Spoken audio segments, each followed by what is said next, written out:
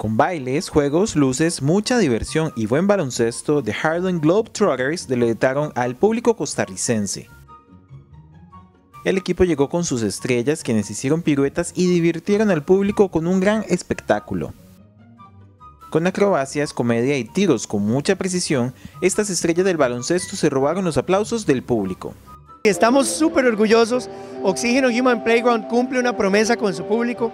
Hemos traído a los Harlem Globetrotters en tres presentaciones totalmente abarrotadas.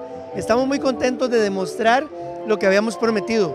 Un espacio vibrante, un espacio flexible que a veces es para un concierto, a veces es para un evento deportivo de primera línea, a veces es un espacio ferial esta Navidad se va a convertir en una villa navideña hermosa. Así es que de verdad que estamos súper contentos. El show de los Trotamundos duró hora y media donde mostraron trucos y dinámicas con los asistentes y también jugaron contra los Washington Generals.